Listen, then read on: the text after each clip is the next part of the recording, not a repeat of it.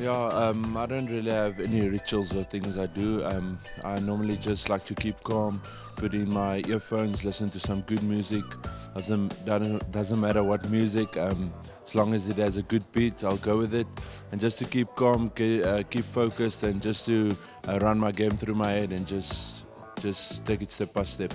So usually um, I listen to rave music just to calm me down, and then just to um, keep my focus on the game and go through my focus points for the game. And then also I usually check in with family or friends, um, yeah, just just to keep my mind off of, the pressure.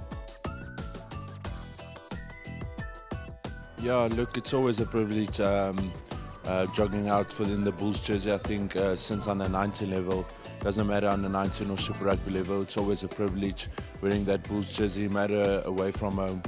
Um, it's always a big privilege just to put on that jersey and represent uh, the Bulls Union.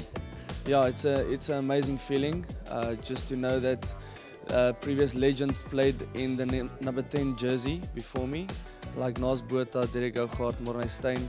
Um, so yeah, just it's a it's a big privilege.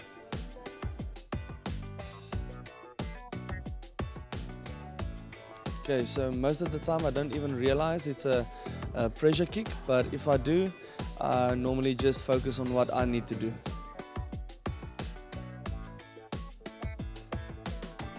Ja, is altyd lekker om 'n paar ervare manne in jou span te. Ek dink hulle bring net daai daai kalmte in die span wat jy nodig het, daai bietjie leierskap wat jy nodig het. En dan vir jong ouens wat hier kom met altyd baie energie. Hulle uh, bring altyd 'n 'n 'n goeie vibe soos ons dit sal sê. En ja, dis aansteeklik en ek en ek voel net ehm um, die jong ouens bring daai daai uh, energie wat nodig is. Nee kyk, ek dink jong spelers bring baie energie en um dit is dan awesome om om meer experienced spelers soos Adrian Strauss of Werner Kreer langs te om net net help met regte besluite te neem op die veld en dan uh die energie op op te fokus op die op die regte areas van die game.